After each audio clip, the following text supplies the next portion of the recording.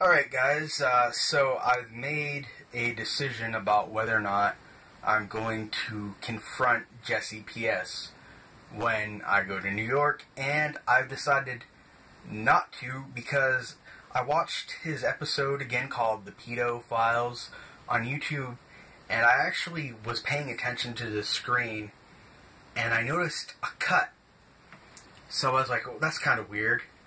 Like, what did he edit out? So I went over to the Pod Awful Twitch page and looked at the past broadcast, and it turns out that this Christina was actually Skylar. So since he didn't actually call me with and patch in an actual real underage girl, I am no longer angry about that prank call. In fact, I actually think that that was actually kind of funny.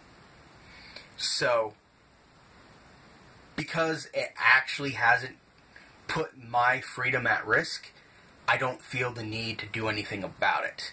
Because now I have ample evidence to prove not only did he do it out of malice, but it was also not somebody who was actually underage.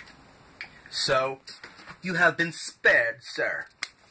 But next time, you do something, you do shit like that, there will be consequences because that's like real world bullshit that could have potentially happened. This is the fucking internet. It ain't that fucking serious. So, anyways, whatever. Bye.